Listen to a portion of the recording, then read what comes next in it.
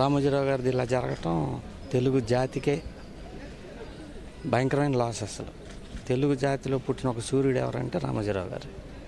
పత్రికల్లో కానీ సినిమాల్లో కానీ అసలు వ్యాపారంలో కానీ హోటల్స్లో కానీ దేంట్లో ఒక స్టాండర్డ్ మెయింటైన్ చేసేవాళ్ళు.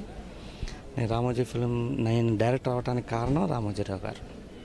ఆయన వల్లే నేను డైరెక్టర్ అయ్యాను. నా ఫస్ట్ సినిమా చిత్రం ఆయనే ప్రొడ్యూసర్ ఇరవై నిమిషాల్లో ఓకే చేశారు ఆయన. మెయిన్ ఏంటంటే రామోజీరావు గారికి ఒక సిస్టమ్ ఉంది. పద్ధతి ఉంటుంది. ఏం చేసినా సరే పద్ధతి ప్రకారం జరుగుతూ ఉంటుంది. ఈనాడు అవనండి రామోజీ ఫిల్మ్ సిటీ అవనండి ఏదైనా సరే మనం వెళ్తే ఆ సిస్టమ్ ఫాలో అయితే అయిపోద్ది పని. అంత పద్ధతిగా ఉండేది. అసలు ఈ లాస్ని నేను చెప్తానికి పదాలు కూడా సరిపో అంత భయంకరమైన లాస్ ఇది. రాజకీయంగా లాసు స్టేట్కి లాసు పేపర్ జర్నలిస్టులకు లాసు సినిమాలకి లాసు తెలుగు భాషకే లాసు.